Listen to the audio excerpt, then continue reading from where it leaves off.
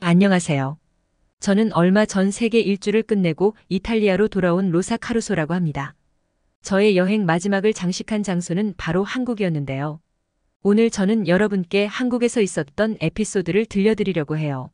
제가 여행을 시작하게 된 계기는 제가 살고 싶은 곳을 찾기 위해서였습니다. 미국인 어머니와 이탈리아인 아버지 밑에서 자란 저는 두 언어를 모두 유창하게 소화할 수 있어 양국에서 번역가로 활동하고 있었습니다. 하지만 두 곳 다 저의 마음의 안식처가 되지는 못했는데요.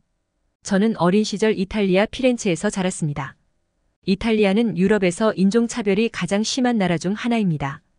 그 수준이 어느 정도냐면 남미를 가도 상대적으로 차별이 심한 나라는 이탈리아계 이민자들이 적고 아르헨티나, 칠레, 우루과이 같이 이탈리아계 이민자들이 많은 나라들은 덩달아 다른 인종에 대한 평등 의식이 떨어졌습니다.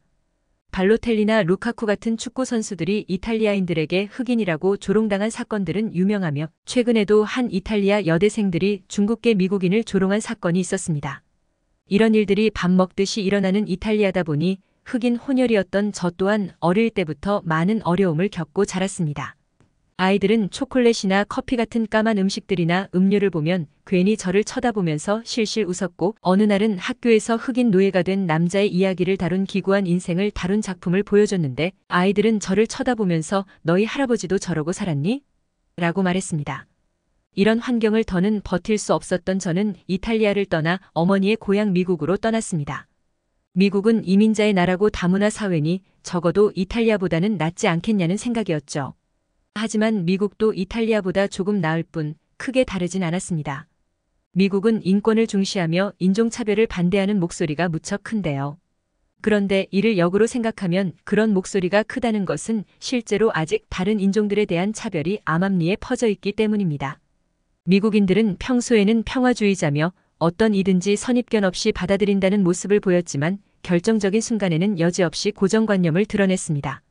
그들은 똑같은 행동을 해도 흑인을 더 의심했습니다.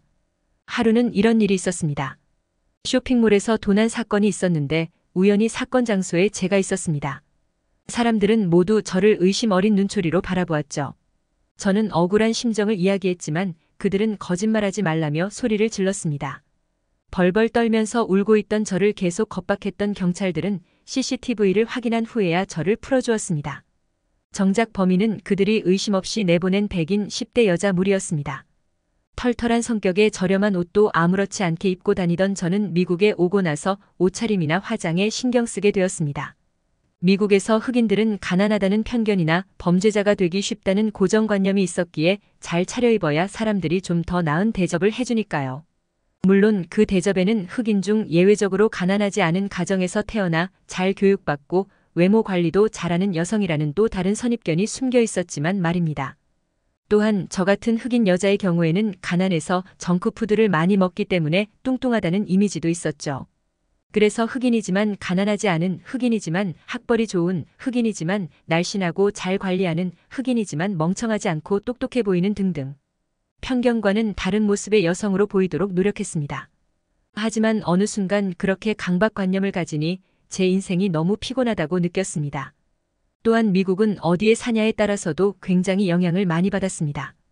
LA나 뉴욕과 같은 지역은 상대적으로 덜한 편이지만 전통적이고 보수적인 지역은 저 같은 흑인을 몹시 배척했습니다. 특히나 시골 지역으로 갈수록 더 그랬습니다.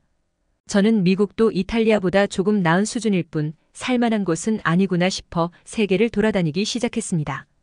예전부터 세계 일주를 하고 싶다는 꿈이 있기도 했지만 가장 큰 기대는 이 세상 어딘가에 내가 자유롭게 살만한 곳이 있지 않을까 하는 기대 때문이었습니다.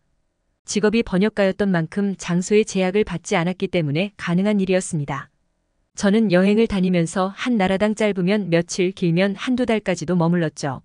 아무래도 여행만 다니는 게 아니라 일도 해야 하다 보니 온전히 여행에만 신경 쓰기는 어려웠으니 남들처럼 1년도 안 되어 세계 일주를 끝내기는 어려웠습니다. 번역 일을 하면서도 틈틈이 인터넷 블로그에 여행 다니는 일상을 기록했고 그 글들이 꽤 인기를 끌기 시작했습니다. 몇몇 인터넷 매거진에 제 블로그가 소개되기 시작했고 그러면서 출판사나 잡지에서 글을 기고해주지 않겠냐는 요청이 오곤 했습니다. 그 뒤로 여행을 다니면서 글을 기고하기 시작했고 여행 작가라는 타이틀이 붙게 되었습니다. 여행을 다니면서 재밌는 일도 많았고 또 다른 직업도 얻게 되었으며 친구도 많이 사귀었습니다. 하지만 그 수 많은 곳들 중 살고 싶다는 생각이 든 곳은 별로 없었어요. 오히려 어딜 가든 사람 사는 데는 다 비슷하구나라는 생각이 들었죠. 다른 국가들도 암암리의 흑인에 대한 차별이 암묵적으로 존재했으며 심지어 이집트나 남아공 같은 흑인 비율이 높은 아프리카 국가도 상류층이나 아랍계나 백인들이었죠. 저는 여행을 끝낸 뒤 앞으로 어떻게 살아갈지 고민에 빠졌고 그러던 중 마지막 여행지인 한국에 도착했습니다. 저는 한국에 크게 기대를 걸지 않았습니다. 중국이나 한국, 대만 같은 동아시아 국가들은 대체로 다른 나라들에 비해 인종의 구성이 다양하지 않았습니다. 물론 중국의 경우 소수민족이 있다고는 하지만 중국이 다른 민족을 핍박하거나 배려 없이 군다는 건 너무 잘 알려진 사실이죠. 저만 해도 중국에서 너무 까매서 신기하다라는 무례한 말을 들은 전적이 있었거든요. 그래서 한국도 크게 다르지 않을 것이라 여겼습니다. 하지만 막상 도착한 한국은 제 예상과 달랐습니다. 그들은 이탈리아인들처럼 대놓고 저를 멸시하지 않았으며 미국인들처럼 선민의식을 갖고 평등한 척하지도 않았습니다. 그저 평범한 한 사람으로 대해줬을 뿐이었죠. 택시를 타거나 호텔을 예약할 때 심지어 지나가다 부딪혔을 때도 다른 한국인들과 취급이 별다를 것 없다는 생각이 들었습니다. 다른 나라에서는 제가 실수로 누군가와 부딪혔다고 하면 제가 적대적인 의사가 있는 줄 알고 피하거나 노려보곤 했습니다. 하지만 한국인들은 자기가 먼저 죄송하다고 외치고 급한 걸음으로 사라지거나 아니면 제가 쏘리라고 사과하면 괜찮다는 듯이 웃고 사라졌습니다. 외국인 관광 택시를 타도 중국인이나 일본인들처럼 무례하게 제 피부색을 언급하지 않았습니다. 오히려 한국에 이런 좋은 곳이 있으니 가보라고 친절하게 알려주시는 분들이 많았습니다. 이런 친절한 태도는 호텔을 가도 마찬가지였습니다. 번역 일과 여행 작가 일을 동시에 하고 있다 보니 수입이 비교적 넉넉했던 저는 가끔 좋은 호텔에 머무르곤 했는데요. 그럴 때마다 호텔 직원들은 저를 좀 수상한 눈빛으로 보곤 했습니다. 흑인인데다가 옷도 낡아 보이는데 어떻게 이런 호텔에 머무르냐는 표정이었죠. 옷이 낡은 건 어쩔 수 없는 게 여행을 다니다 보니 짐을 많이 들고 다닐 수 없어 입던 것들만 계속 돌라 입었습니다. 그렇다고 온종일 돌아다니는데 비싼 브랜드의 옷을 입기도 뭐했고요. 그렇다 보니 사람들은 저를 오해했고 혹시나 신용카드를 훔친 거 아니냐 의심을 하면서 신분증과 신용카드에 있는 이름을 대조해보곤 하는 일들이 발생하곤 했죠.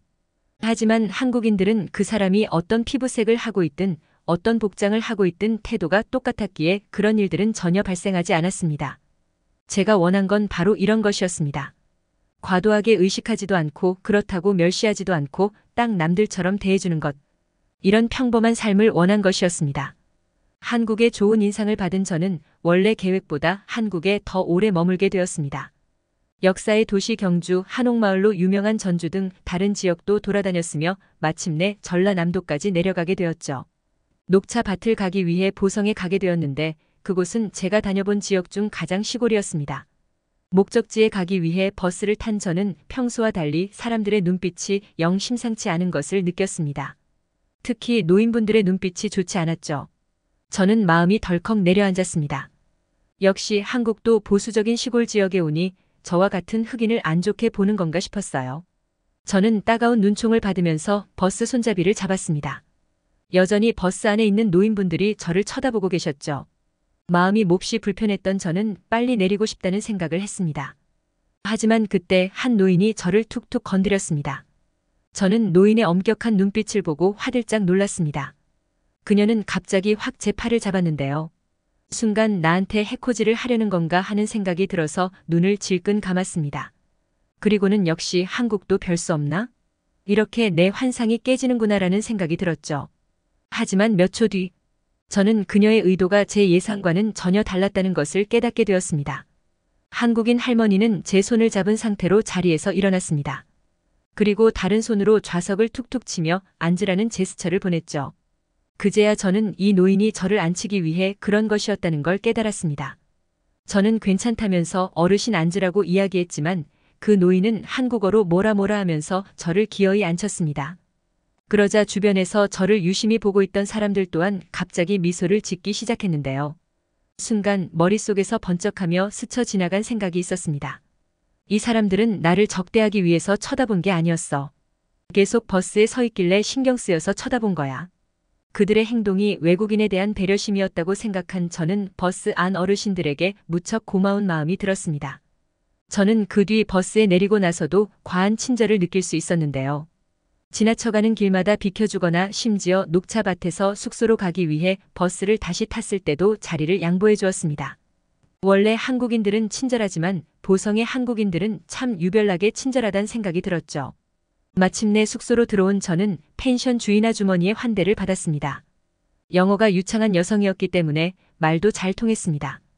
그렇게 즐겁게 대화를 잠시 나누던 저는 순간 귀를 의심하게 만드는 말을 들어버렸습니다. 아유, 임산부가 여기까지 혼자 오느라 너무 고생이 많았어요. 임산부가 여기까지 오느라 고생이 많았다니? 이게 대체 무슨 말이지 싶었습니다. 제가 황당한 얼굴로 임산부 아닌데요. 라고 말했습니다. 그러자 아주머니는 아니에요. 라고 말을 흐리더니 제 배와 얼굴을 번갈아 봤습니다. 저는 제 배를 내려다 봤습니다. 그리고 왜 그녀가 그런 착각을 하게 됐는지 알게 됐죠. 긴 치마를 허리까지 올려 입고 그 위에 펑퍼짐한 티를 바깥쪽으로 빼입은 저는 치마 안에 벨트백을 넣어놓고 있었습니다. 한국이 치안이 안전한 곳이긴 하지만 아무래도 시골 지역에 내려가면 걱정되는 부분이 있었거든요. 그 안전하다는 스위스에서도 시골 동네에 놀러 갔다가 소매치기에 당한 적 있던 저는 벨트백에 소지품과 지갑을 넣은 뒤 그 위에 치마를 입어서 철저하게 방어했습니다. 여기에 긴 티셔츠로 치마를 덮어버렸으니 저를 임신한 줄 알았던 겁니다. 그리고 저에게 무척 조심스럽던 한국인들의 태도와 왜 자리를 양보해줬는지까지 모든 상황이 이해되었습니다. 진실을 알게 된 저는 웃음이 터져 나왔습니다. 그리고 한편으로는 인종에 상관없이 약자가 있으면 도와주려는 한국인들의 인성에 감탄하게 되었습니다. 이 일이 있은 이후로 한국이 아주 마음에 들었던 저는 한국살이를 결정하게 되었고 현재는 고국에 돌아가 비자를 준비 중입니다. 앞으로의 한국 생활 몹시 기대되네요. 차별받던 흑인 여성이 한국에 와서 마음을 열게 된 사연 어떻게 보셨나요? 저희 클립 뉴스는 언제나 재밌고 감동적인 사연을 기다리고 있으니 제보 부탁드립니다.